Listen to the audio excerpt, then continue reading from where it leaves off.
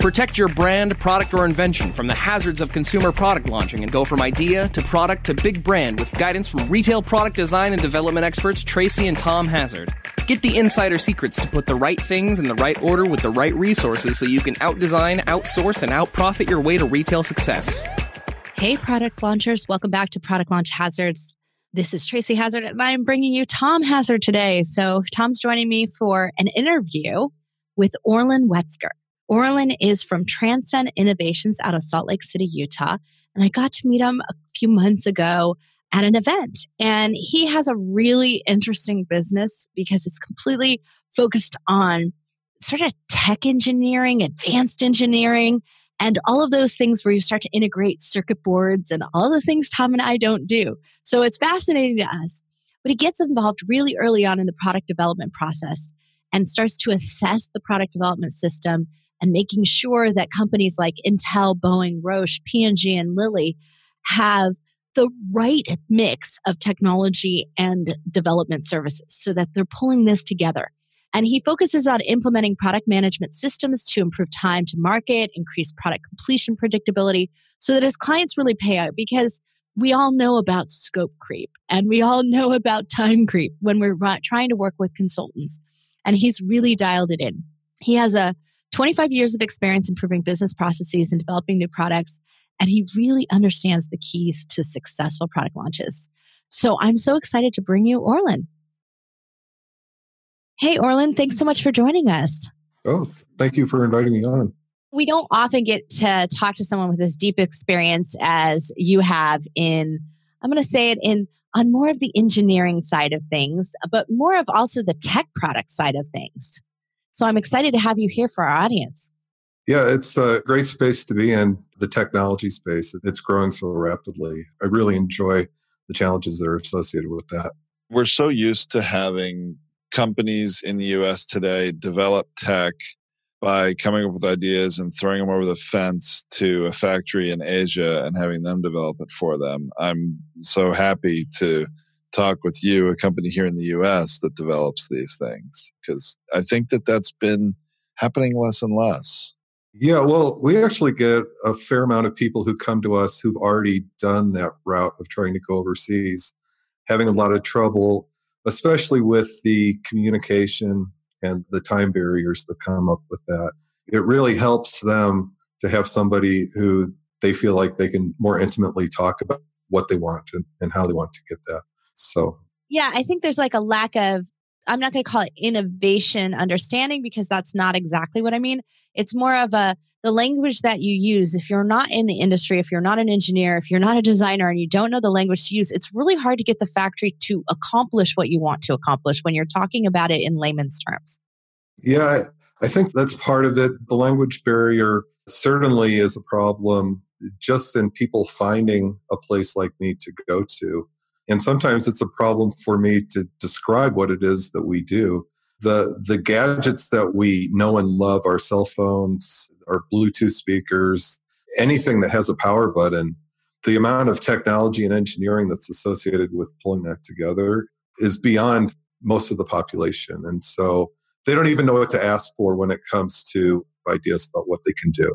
And I think that there's a lot of this that that's what Tom and I have found is when you don't do something again and again, and it's not in your wheelhouse to be doing it, which is one of the reasons we don't do, we personally don't do a lot of tech products. We do tech adjacent products. There are power buttons involved, but the technology part is usually known. It's the rest of it that we're designing. And because there are so many things that can go wrong and things that you will have learned from projects over time. Oh, yeah. I was thinking one of the things that I get a lot is, can I do this? And I always answer, I mean, no matter how crazy it is, I say, yes, we can do that because there's so much technology that's available. And what we can do is almost limitless at this point. It really is, is bounded by imagination. And that's also a hard thing for people to grasp is just, just how vast what we can accomplish really is. Then the question becomes, should you do it? yeah. I've had long conversations about that.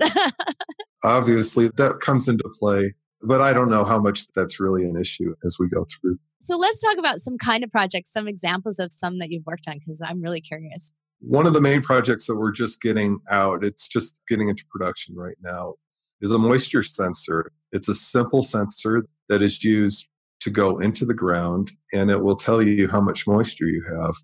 And then it will relay that information to a base station and then send that up to the internet, to the cloud. And that's being used by small farmers so that they can make sure that their crops are actually going to get the highest production yield that they can get. Wow, our farming is getting very high tech. Yeah, and it makes so much sense because it affects the quality of the produce that comes out and it also affects how much water they use. So they can reduce the amount of water that they're using and still get the optimal crops that they need. And so that was really why the people who came to us, why they wanted to get into this business is to help conserve water and also to maximize food production.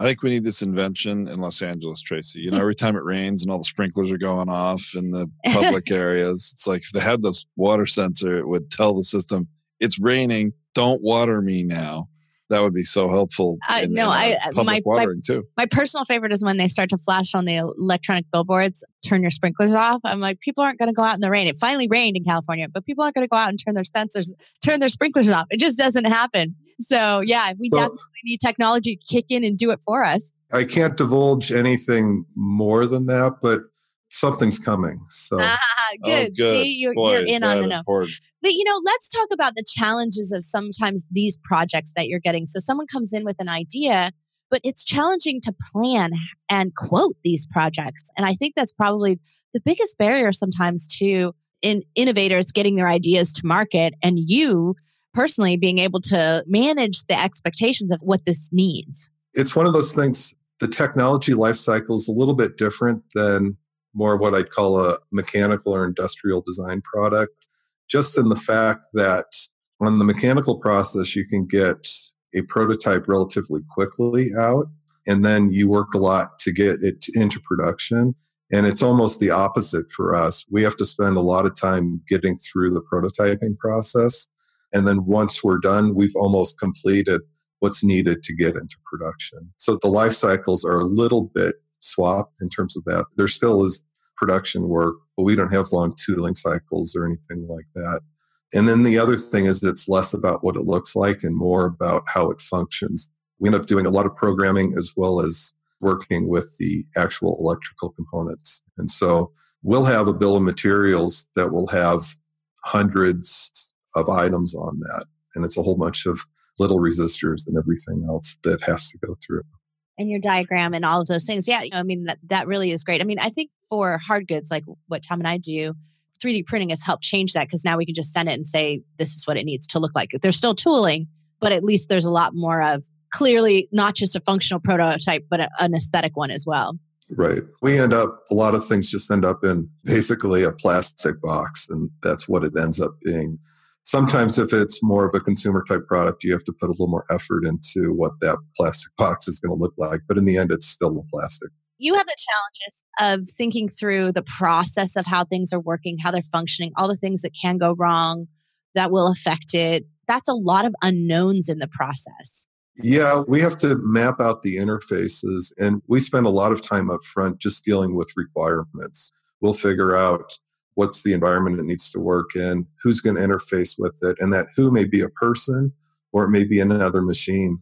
Like when we're talking with the cloud, we're negotiating with the cellular carrier and, and making sure that we can connect. All of those little things, they all have to work seamlessly and they have to do it time and time again. So we spend a lot of time on getting those things right.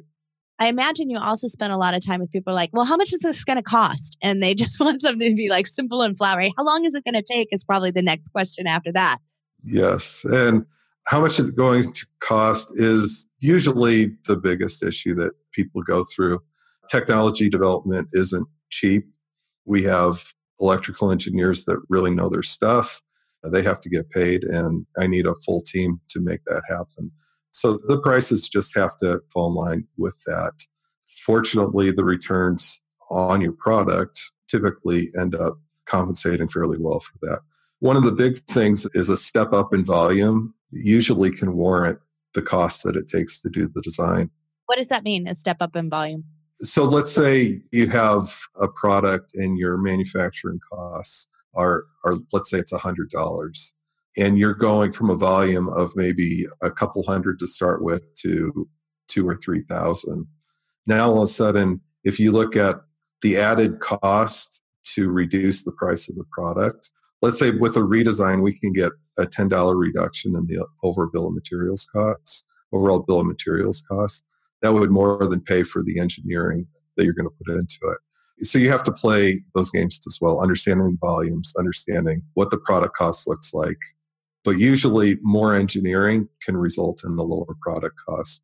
And that's normally where, where people end up with going through that. Value add engineering is what we used to call it. So, and we normally go through a strategy of stepping people into a product. So, what I mean by that is we can start off with off the shelf components and just kind of piece it all together. It would be maybe bigger than you'd like it to be in your final form factor, but it ends up providing all the function that you need. And then as you can demonstrate that you can sell the product and it actually has legs, then when it starts, you start jumping into a new product uh, quantity, you're selling at a higher volume. Now you can go in and, and do the engineering to customize it, reduce the size, and reduce the overbill materials cost. So, so anyway, you have to take those kind of strategies with technology, especially if you're going into a market you're not quite sure if the product's going to make it or not. That's really a risky proposition, I bet, for a lot of companies, though. I mean, they have to do all this development in order to make the product they want. And if they're not sure it's going to be successful, that's a big bet.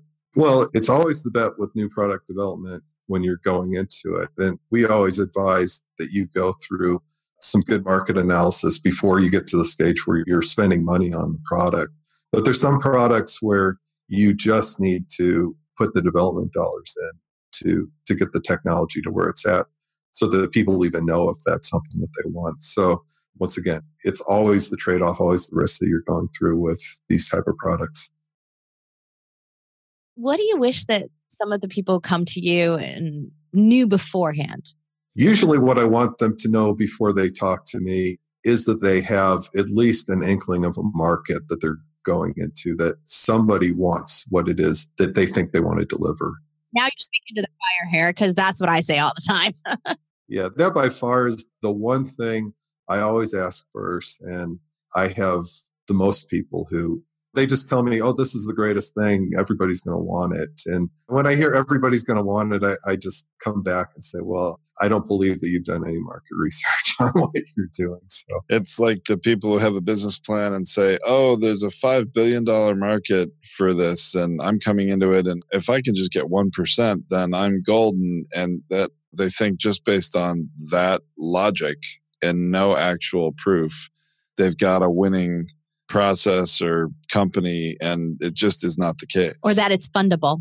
That's the one we hear all the time too. So yeah no that's such a good point and that's a little bit of why we stayed away from doing these types of technology products because it's more risky in terms of how much effort and time you have to put into it before you can find that answer sometimes in particular markets or it's more challenging to try to get the answers from the marketplace. Do you really need this? And so you have to rely on research reports and surveys and things like that. And I'm a bigger fan of let's sell them something and get them to convert it into dollars. So I am a really big fan of finding something that may exist. And so if you're going to replace, in your case, uh, like you were mentioning, a water conservation product, but if there's any kind of, I'm going to call them automated sprinklers or something like that, where they have some kind of sensor where it's obviously someone who's putting in a sprinkler because they don't want water to be going constantly. They don't want to go out and turn it on and off and doing all of that. Even if it's not as good as what you imagined, just being selling that and having the clients from that or the customers from that gets you access to the right people to start to talk to. That's what I'm a fan of. So we try to get them into a product that exists first if it's not possible to you know if you had to go full tooling full engineering full all of that sell something to the right type of people and make sure that you can have a conversation with them. And like I say, I also advise the same thing. Let's understand that there's really a market before we get into that because because if you're coming to me, you need to be ready to pay the bills that are coming.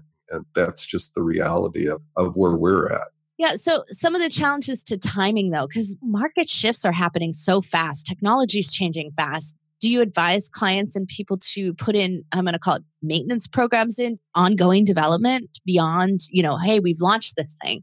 Well sometimes i get into that. Sometimes i'll talk about product roadmaps as we start working with customers so that we can understand how we're going to develop it. Because almost invariably when we start working with a product what they'll want the product to be and what they'll want to pay and what it takes in terms of time to get that there they don't align. And so we have to make decisions and trade offs as we go through that. So there'll often be a, okay, well, we're going to start with this version and then we'll just add these in the next revision that we go through. So almost always, once you get into technology products, you're talking about roadmaps and when and how you deploy features and how you manage your overall development budget as you go through it. And product improvements and value add and all of those great things. Right. It's all a part of it. And so it ends up being a long road. It, in some ways, we're kind of mixing what you'd expect from a software development cycle with traditional hardware development. And they both come together and they both play a part of the overall design process. Yeah.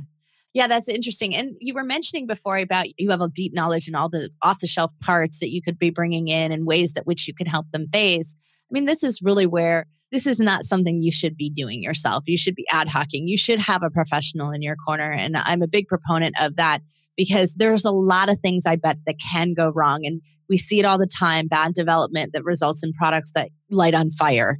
Personally, we've oh had a personal experience. Bet, well, yeah, but I bet you also, whenever you saw something in the news about a hoverboard blowing up, you probably were like, yeah, they didn't develop that in the US, right?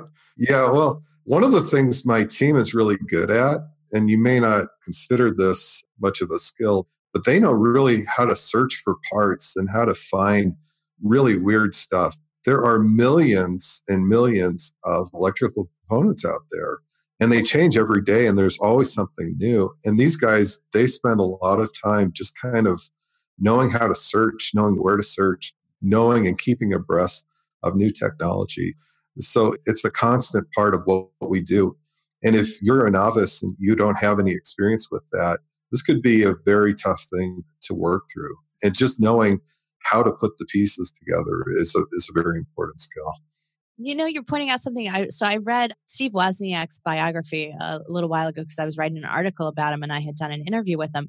It's called iWoz, and in it, he was mentioning that how he was really well connected to the community of who was developing new circuit boards and all sorts of new things that were going on.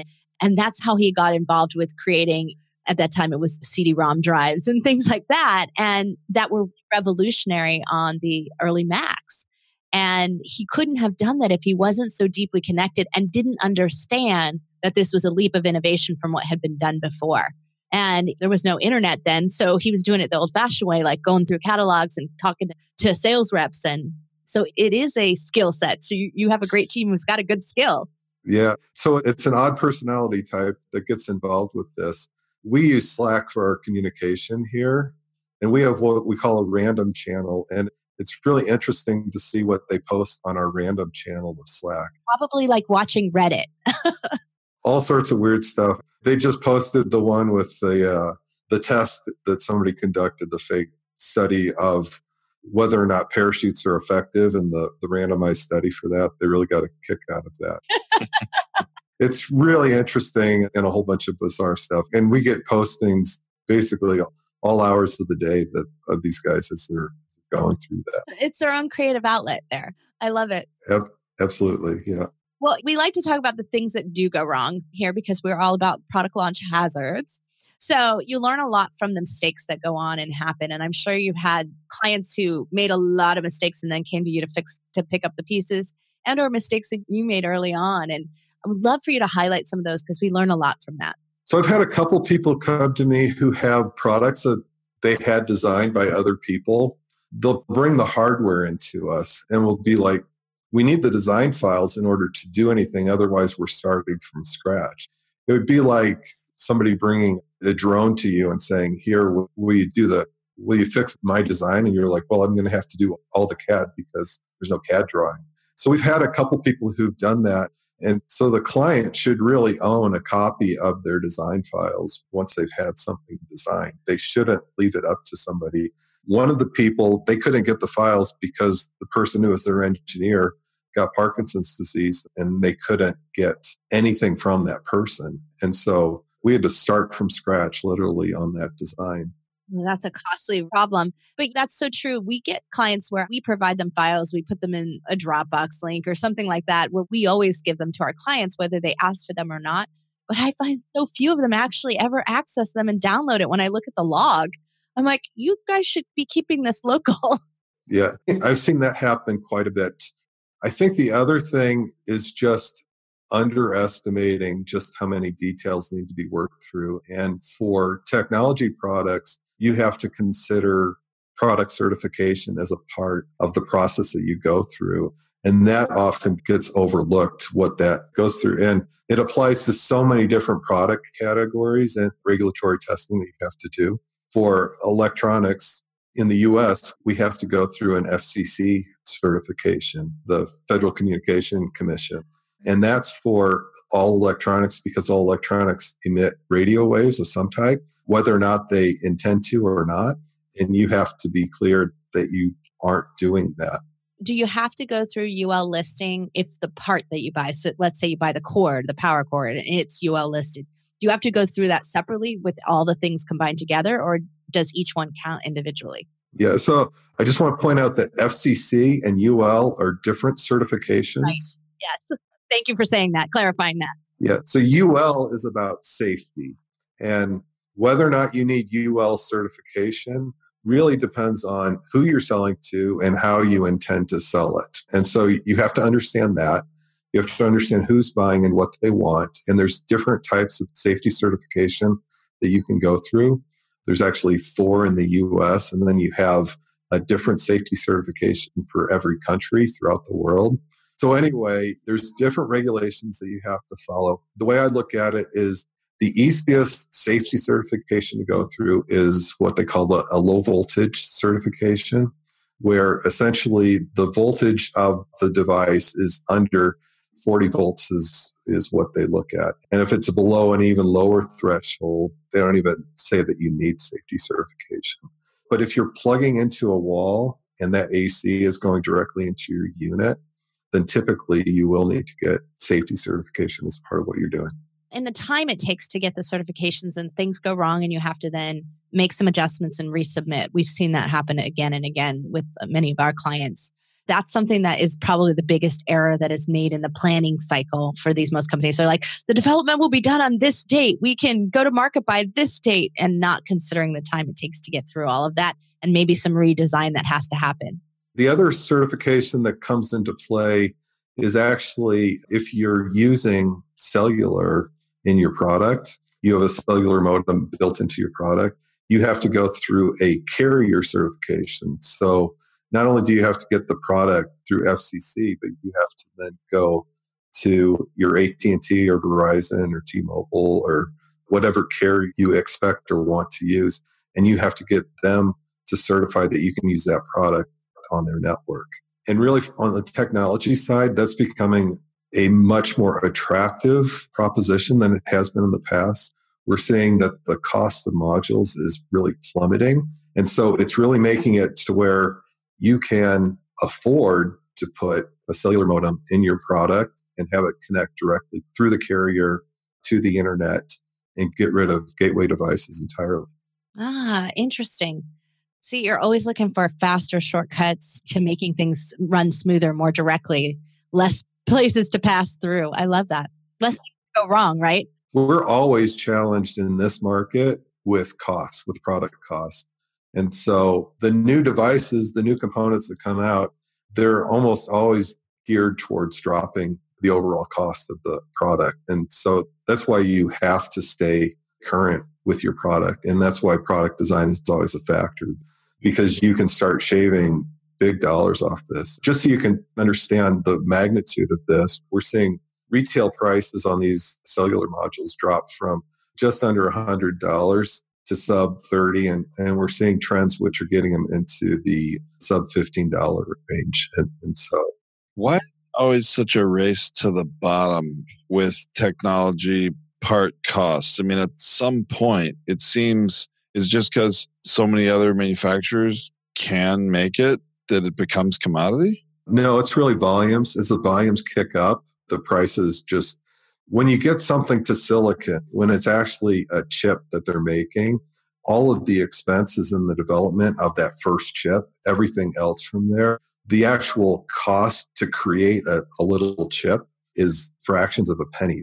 It's just so low for them to make them. So they're just amortizing their development costs over a larger and larger spread. And almost always they make their money in the first off the first batch and then everything else. It, it's really just what the market will bear in, in terms of the cost for that. So Orlin, tell us a little bit. So you're out of you're out of Salt Lake City and how is that region? I mean, is there getting a lot of more technology, a lot more things going on than when you first started there? So we know that there's a big tech boom that's happening in the Salt Lake area. Further south from us is what they officially call Silicon Slopes. And you're seeing a lot of the software startups that are out there. There's not quite as much in the hardware space, but everywhere there's software and everywhere where you have an instance where somebody's developing a SaaS, a software as a service application, they end up at some point needing a physical device. And so we see that a little bit, but I think even more than that, it's a very entrepreneur friendly environment. There's a lot of both state and local organizations which are really helping the entrepreneurial community. And so we're seeing the effects of that. So it is still a very positive environment for growth and for technology. Oh, well, it sounds wonderful. I've enjoyed my visits there and getting to meet you and your lovely wife. And you're right. I think the community is getting a lot more entrepreneurial support, which is making a big difference. I think the one thing which we see a little bit of, but could probably be better, is just investor support. So there are a lot of investor networks, but we just can't hold a candle to the amount of money that's in the Bay Area and or other places. So we still need need a little more support in that area. But by and large, it's really a good place for a business like mine to kind of sit around and take advantage of the market. Well, Orlin, I so appreciate you coming on. Is there anything else you want to share with our audience or with us? Well, one of the trends I, I, did talk about is the advent of these new cellular, of these cheaper cellular modules. And that's a pretty dramatic change in the market. And we've got a number of projects which are using that. And we've actually come up with our own cellular module card, which we can put into projects to really help in that area.